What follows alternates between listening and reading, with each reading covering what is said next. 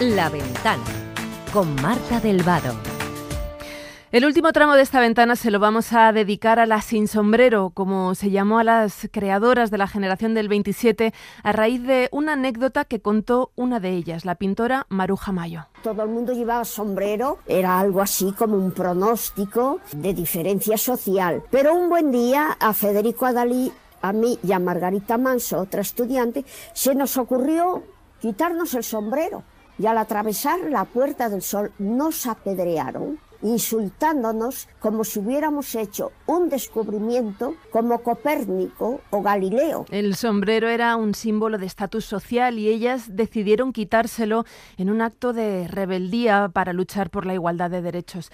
El legado artístico de esta generación de mujeres, su relevancia política y social, permaneció en la sombra durante décadas, a diferencia de lo que ocurrió con sus contemporáneos hombres. Distintas investigaciones las han ido recuperando e incorporando al relato colectivo. Y hoy, hoy nos vamos a acercar a ellas un poquito más desde las cartas que ellas mismas escribieron, en una nueva entrega de cartografías.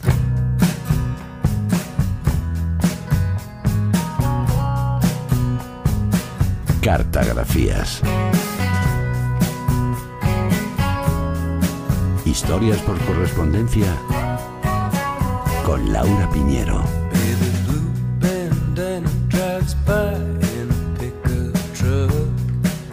Laura Piñero, buenas tardes. Buenas tardes, Marta. empezamos a ver, el punto de partida de hoy es una exposición que se encuentra en el Fernán Gómez de Madrid hasta finales de enero. Sí, hay varios proyectos actualmente que nos van a llevar hasta ellas, empezando por esta muestra que reúne más de 400 piezas entre obras de arte, fotos, documentos, objetos personales y, por supuesto, cartas. Está comisariada por la escritora, gestora cultural y cineasta Tania Bayó, que ha firmado tres libros sobre las sin sombrero, tres documentales, además de promover iniciativas educativas. Su historia con ellas, Marta, arrancó en 2009 cuando en una cena con amigos, hablando de Lorca, se hicieron una pregunta que a Tania le marcó. ¿Por qué no habían trascendido también las artistas femeninas de esos años? Ahí arrancó un largo trabajo de documentación, se acercó primero a investigadores que ya llevaban años estudiándolas, a sus descendientes, y cuando comprobó todo el valor que tenían, se propuso darlas a conocer. Bucear en la correspondencia propia o de sus parejas fue fundamental para tirar del hilo. Los fondos epistolares, como los diarios o las notas, son la única manera que tenemos de recuperar su propia voz. Es muy complicado recuperar la figura desde la vitalidad, desde la vida, ¿no? no desde el recuerdo lejano. Yo las quiero a ellas y las quiero a ellas hablando de sí mismas. Se alberga ese espacio más profundo de intimidad. Me contaba Tania que en esto de las cartas destaca Carmen Conde, poeta, dramaturga, maestra cartagenera, primera académica de la RAE. Gracias a ella, a la correspondencia que conservó, conocemos a otras creadoras. En Cartagena se conserva su archivo, el más completo de toda esta generación. Incluye, Marta, más de 25.000 cartas compartidas durante casi todo el siglo XX con las personalidades más relevantes del mundo de la cultura. Carmen, a diferencia de otras contemporáneas, no se exilió. Eso nos permite leer tesoros como este, una misiva que le envió a la escritora cubana María Loinaz. Amiga mía de las lunas quemadas y los trenes vespertinos, a mí no me cuesta trabajo escribir cartas. Lo que me da el trabajo es mandarlas. García Lorca está aquí, viene muy frecuentemente a mi casa y quizá en este momento se esté paseando por el jardín. Me gusta su sonrisa y su modo de saludar aprieta la mano hasta hacer daño. A mí las personas que me dan la mano sin apretar me dan ganas de cortarla. Y es hermoso saludar así, con esa alegría, con ese sincero regocijo de encontrarle a uno. Te envío la primera flor de mi framboyán. Son los únicos en Cuba que alguna vez pueden verse sin hojas. Y de pronto en mayo se cubren de flor, una flor roja, bermeja más bien, de modo que vistos de lejos parecen grandes sombrillas encarnadas. Te saludo desde mi primavera ardiente y olorosa, fuego, agua y viento en el jardín, en el corazón. Carmen y su marido, el escritor Antonio Oliver, que luchó en el bando republicano, decidieron no exiliarse y afrontar las consecuencias de quedarse en España durante la guerra civil y el franquismo. Vivieron escondidos, de hecho, durante una etapa. Sí, él en Murcia, Carmen en Madrid, donde continuó escribiendo con seudónimos y se comunicaban en secreto, como no, por carta, gracias a un amigo, director de un periódico de Murcia, que era además funcionario de correos. También destaca la correspondencia que Carmen mantuvo con Ernestina de Champurcín, poeta, articulista, una de las voces más importantes de su generación, junto a Josefina de la Torre. Descubrió a nuevas promesas de la literatura como Carmen gracias a Juan Ramón Jiménez y a su mujer Zenobia, eran muy amigos. Decidió iniciar una amistad con Carmen Conde por carta porque ella estaba en Cartagena.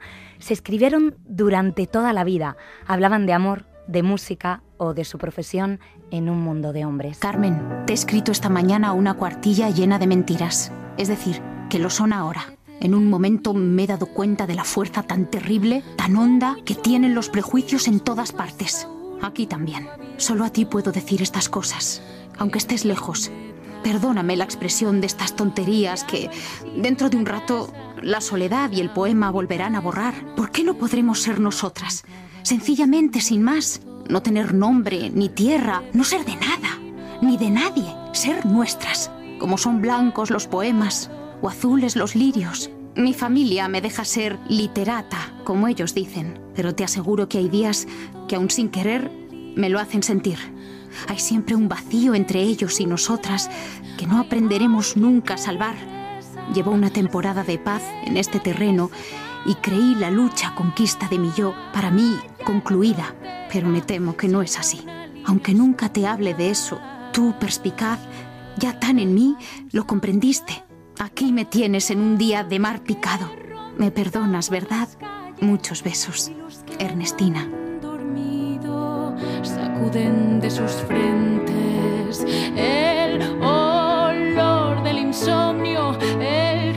Esta voz que canta un poema de Ernestina de Champurcín es la de nuestra Sheila Blanco, que además está girando ahora con su espectáculo cantando a las poetas del 27.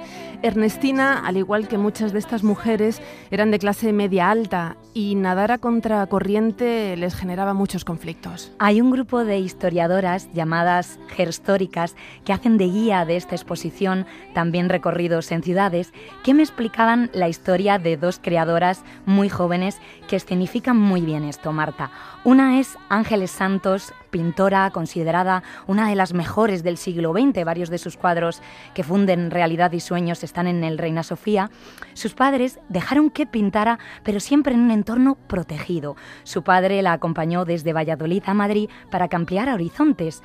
Aquí conoció a Ramón Gómez de la Serna, con el que tuvo una larga amistad y relación epistolar.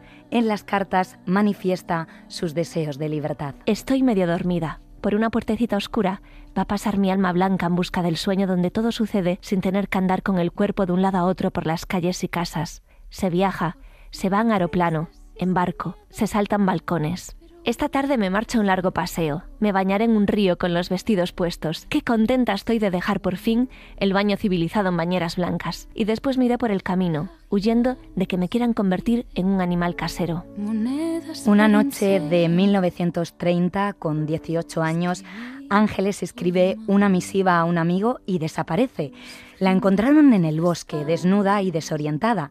La ingresaron sus padres en un sanatorio y cuentan que ya nunca volvió a ser la misma. Siguió pintando, pero en un estilo más costumbrista.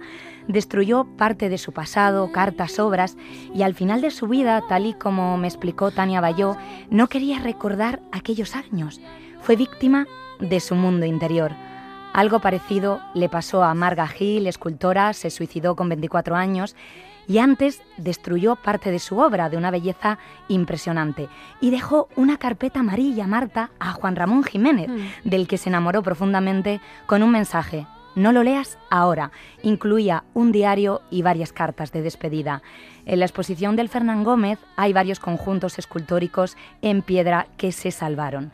Dicen que uno de sus dibujos inspiró al creador del Principito. Sin embargo, apenas nos suena su nombre. Pero hay varios factores, Laura, que hicieron posible que estas mujeres tomaran este impulso. Por ejemplo, que pudieran ir a la, a la universidad, que coincidieran en lugares compartidos como la residencia de estudiantes y que desarrollaran proyectos conjuntos, su amistad. Y la República, que aunque no cambió de la noche a la mañana, en una sociedad que ya era machista, sí que introducía importantes cambios a nivel legislativo. En este 14 de abril de 1951 le envío con mi enhorabuena un abrazo fraternal y republicano. Celebré el acontecimiento almorzando con algunas personalidades. Luego se organizó el acto que verá por estos recortes de diario, enviando telegramas a las amistades. Viva la España nueva, culta y republicana.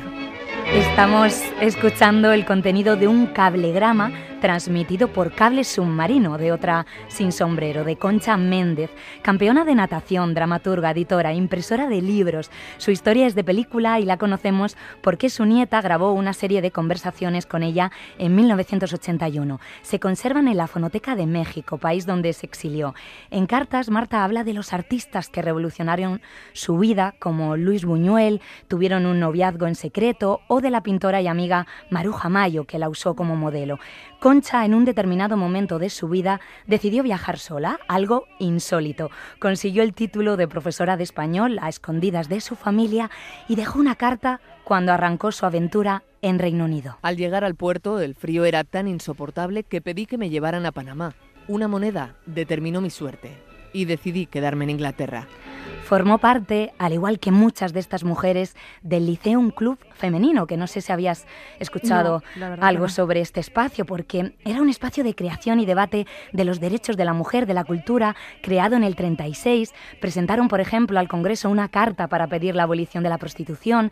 El club llegó a tener unas 500 socias de distintas ideologías, además, como la duquesa de Alba, y se conserva una correspondencia muy curiosa que retrata cómo se enfrentaban continuamente a campañas de descrédito por parte de círculos conservadores.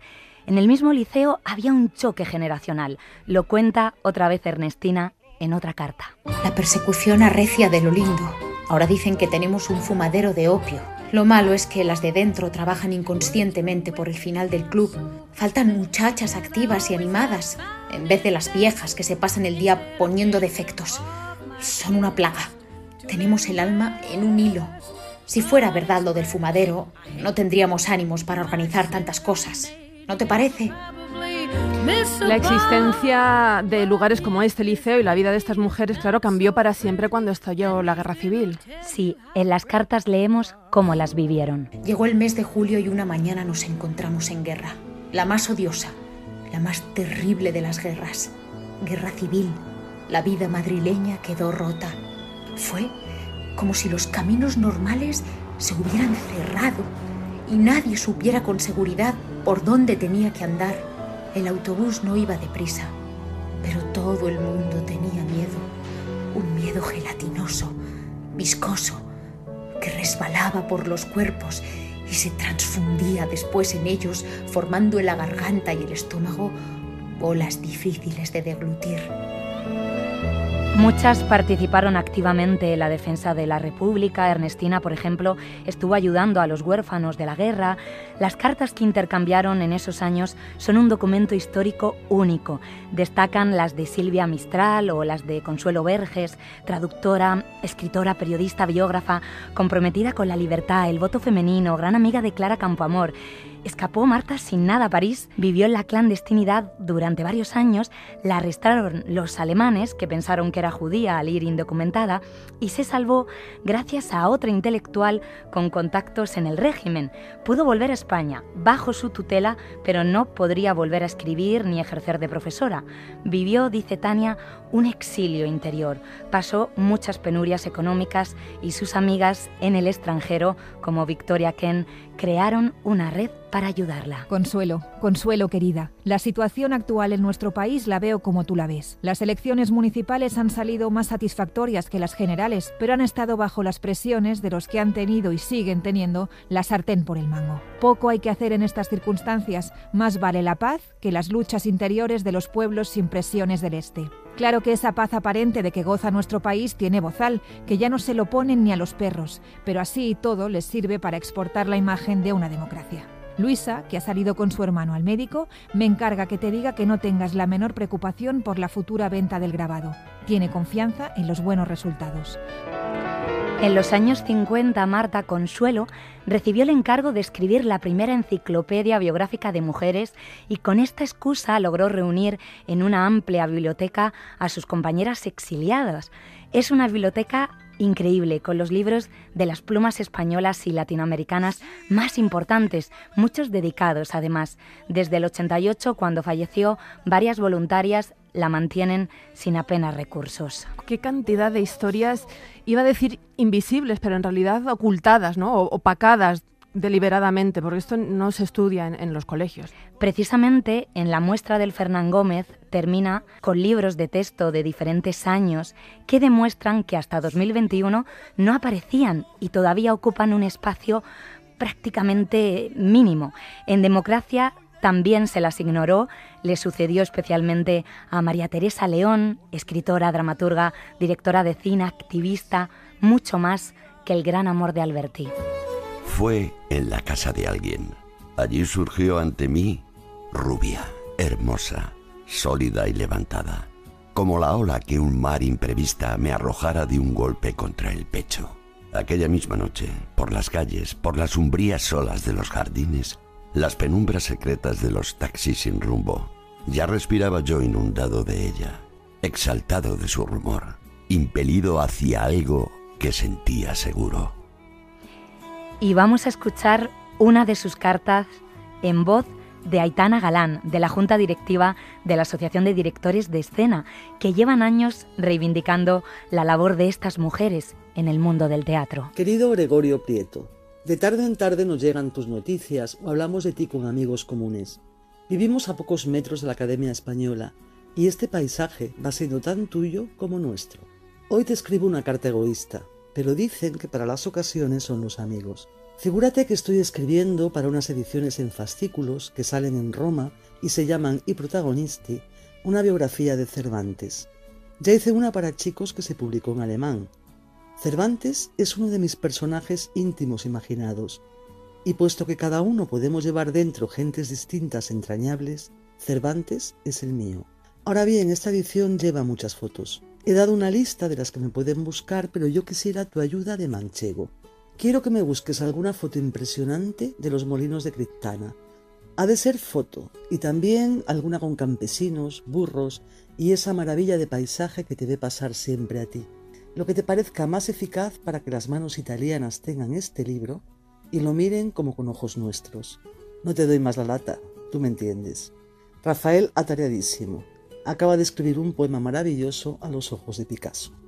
Fíjate, Sheila Blanco este domingo en el Ateneo de Madrid reivindicando Alas sin sombrero y Aitana Galán dirige este sábado en el marco de la exposición la lectura de Los vendedores de miedo de Luisa Carnés, otra sin sombrero, periodista, escritora de clase obrera que trabajó de niña en un taller de sombreros casualmente. Dejó 300 piezas de teatro y otros muchos contenidos de fuerte compromiso social que os recomiendo también. Muchísimas gracias Laura por este recorrido al que sumamos el proyecto de Paco Damas que se llama Invisibles, Las sin sombrero volumen 2 y con ellas nos despedimos. Volvemos mañana. Un beso fuerte. Alguien apaga la luz y dice que es mi dueño y no me deja salir de este mal sueño.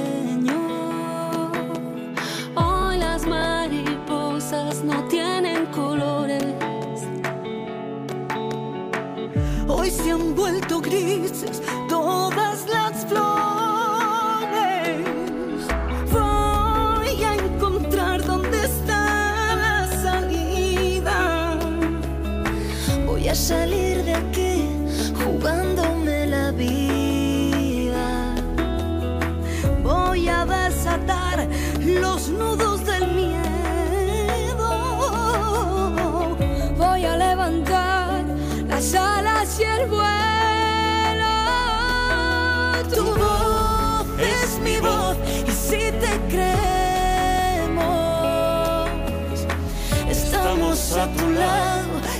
vivas nos queremos. Tu voz es, mi voz y si te creemos, estamos a tu lado y vivas nos queremos.